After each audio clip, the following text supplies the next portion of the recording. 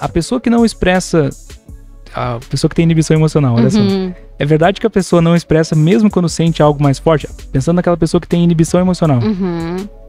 Se ela tá sentindo algo, até que seja ah, mais forte, a gente poderia até melhorar aqui como algo positivo, algo socialmente Uhum. valorizado. Como afeto, carinho, admiração e tudo.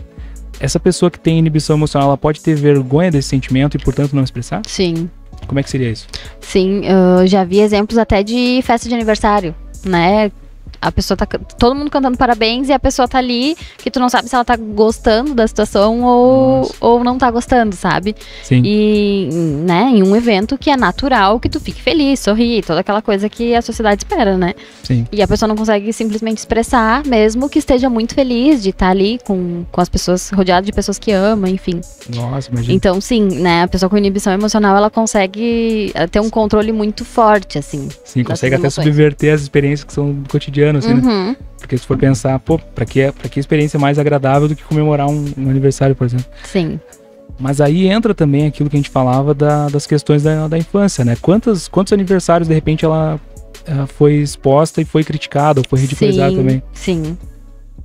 Sim. Né, ou às vezes queria, os pais falavam que não tinha importância, né? Uhum.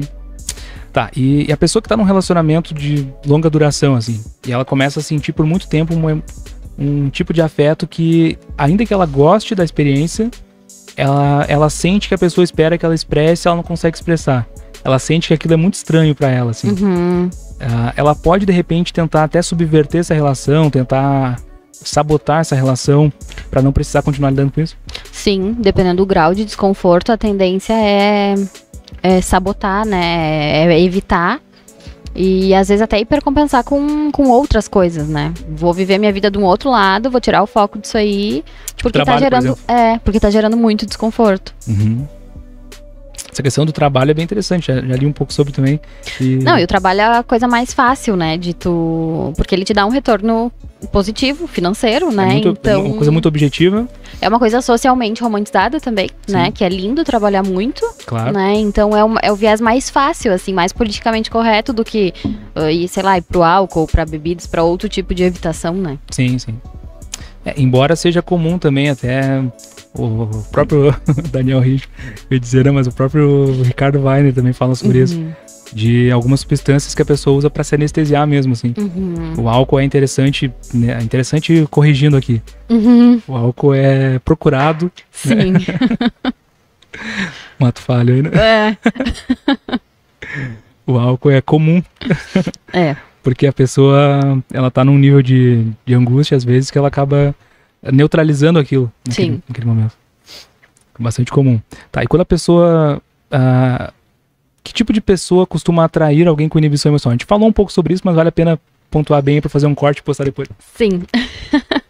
Ah, principalmente privação emocional. A gente vê assim que é o que mais, mais se encaixa ali, né? Uhum. A pessoa já é privada, já não demanda tanto, ou quando demanda nem não sabe demandar assertivamente, né? Então é uma cobrança que acaba não parecendo correta, né? Então, se não parece correta, tu não tá errado e, né, e segue, segue o baile.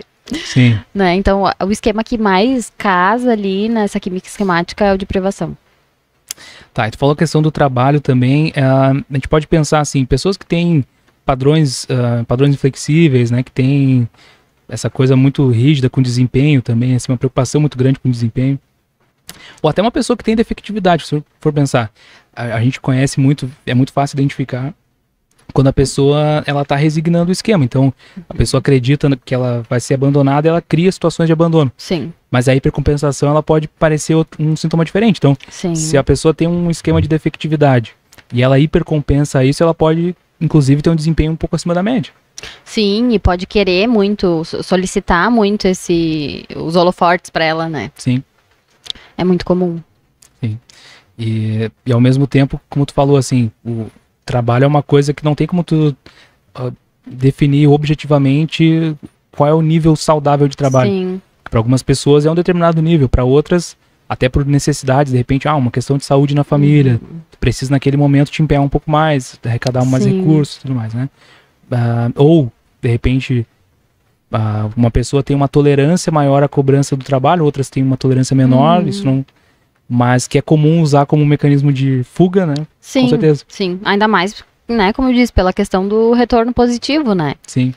Então, é, é muito natural. Ah, falando dessa parte de retorno positivo, a gente fala de padrões de, de comportamento e de enfrentamento também. E a pessoa que tem ah, inibição emocional, que, a gente- que é um tema que a gente está falando bastante, mas Uhum. outras podem parecer assim, ah, ela quer de qualquer forma fugir daquela sensação, né? Aquela sensação de, de estar sendo demandada afetivamente e de não Sim. corresponder. Sim, Ela pode, por exemplo, inclusive, se envolver com relações muito superficiais, assim. sim, Não quero usar o termo relações vulgares, mas relações que vão sim. satisfazer momentaneamente. Sim, e aí tu não precisa te envolver emocionalmente, né? Uhum. Acaba ficando, de novo, conhecido, Uhum, né? O que, o que a pessoa com inibição emocional já, já conhece e pra ela tá tudo certo, sim, né? Não, não é como se faltasse algo ali, tá? Como se fosse normal. sim. Porque justamente é o tipo de pessoa que não vai te demandar aquilo que tu não consegue Claro. oferecer. Claro, Curioso, né? sim.